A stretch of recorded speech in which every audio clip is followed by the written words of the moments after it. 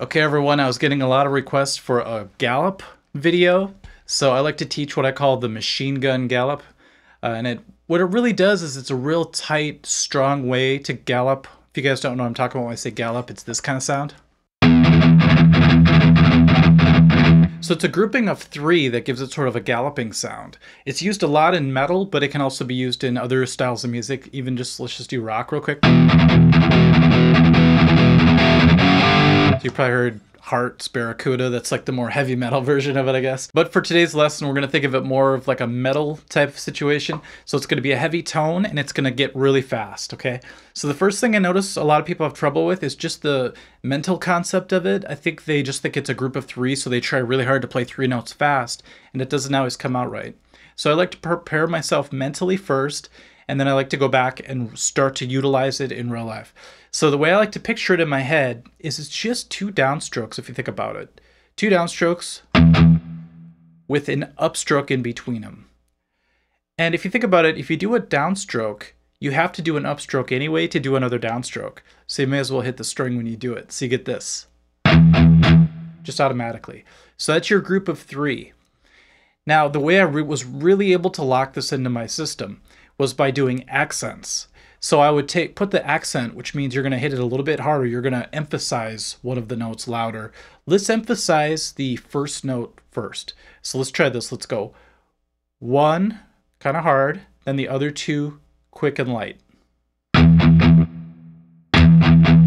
You see how my pick comes up high? I hit it hard and then I do two smaller hits. Now that's really hard to do slow. When I start to speed it up, you're going to hear it really kick in.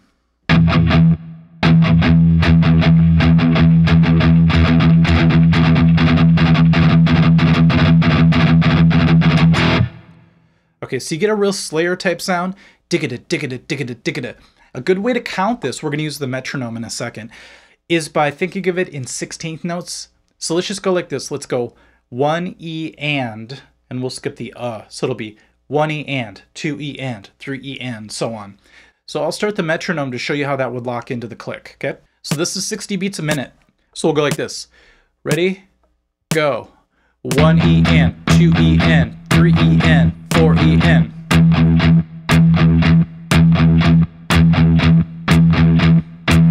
So that's how it's going to sound when it's grouped together.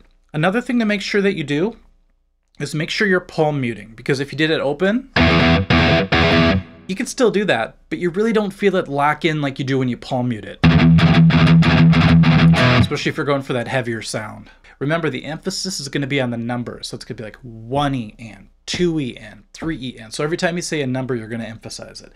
Also, tap your foot if you can in the future, maybe not today, every time you say a number, and it's going to help you lock it in in your body as well. Some people want to do power chords. That's totally fine but I recommend just for today that you stick with a single string. Later you could start to do the Barracuda thing.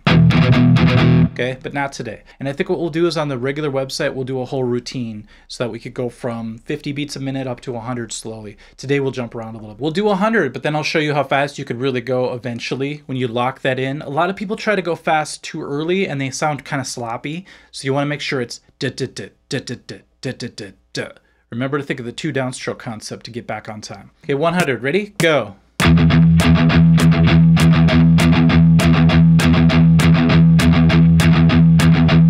Another thing that's gonna help you, take your pick, we've been talking about this lately, and tilt it either forward a little bit or backwards a little bit because it's gonna roll off the edge of the pick a little bit better and you could do those strokes a little smoother like this. If you have the pick completely parallel to the string, it can get caught. I hear a lot of people do that at first. You could also tilt it back. A lot of people wonder about that. Then you're hitting the bottom of the pick here, or the, the bottom side of the pick. On the way up, you're hitting the other side. So same effect, just opposite tilt. Now the other way to practice this that a lot of people don't realize at first is if you just move the beats over a little bit, you can actually come up with a different emphasis which gives you a different feel. And a lot of bands use this one, I would say a little bit more than the first one we did. So all you have to do this time is hit on the one still, but then you're gonna wait after the E. You're gonna leave that one alone and you're gonna hit the and, uh, and then the two. So the and, uh, and the two become a grouping of three. After the initial hit. So you get this one E and a two E and a three E. So now your emphasis is on the tail end of the three versus the beginning. Okay, so it's a little bit different feel. Here's how it would sound with a click. One, two, three, go. One and a two and a three and a four and a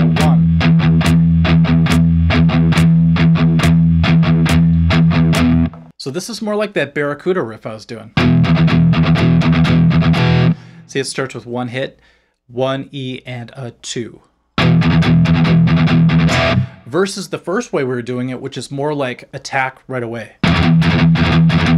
Hear the difference? So I guess you could call the first one the Slayer uh, version, and the second one the Heart version. Uh, the Barracuda version sounds a little cooler. Okay, so we have Slayer and Barracuda are our first two versions of this. So once again, Slayer is one E and, two E and, three E and. It's like slashing. So that song's Raining Blood. Okay, then the Barracuda version is a little bit more groovy, I guess you could say. So if you remember the counting on those, you should be just fine. Try to find the most convenient way for your hand to do this without stressing out. A lot of people overpick when they do this. I like to keep it kind of tight and real close to the string. And I also think of how valuable the idea of just the reflex of the upstroke is. You don't have to put as much emphasis on the upstroke as you do with your downstrokes, especially if you're doing metal. So if you're going like this, the most important hit is the first one. It has the, the accent on it. The upstroke is just a reflex. It's just a real quick reflex. The other one, the emphasis on is on the end of the three, so you get this.